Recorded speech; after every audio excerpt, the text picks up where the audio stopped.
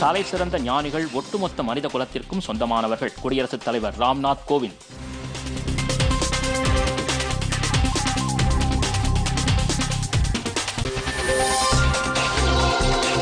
குழந்தைகளுக்கு ஆரம்ப கல்வி தாய்மொழியிலேயே அளிக்கப்பட வேண்டும். உலக தாய்மொழி தின விழாவில் குடியரசு துணைத் தலைவர் வெங்கையா நாயுடு வலியுறுத்தல்.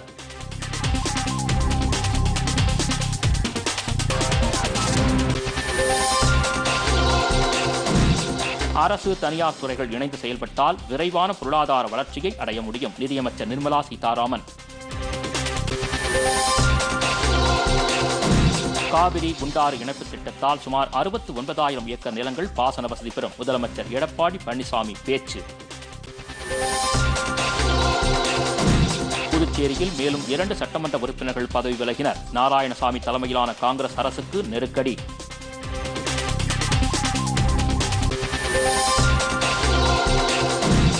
ஆஸ்திரேலிய ஓபன் டென்னிஸ் போட்டி ஆடவர் இறுதிச் சுற்றில் பட்டம் வென்றார் ஜோகோவிச்.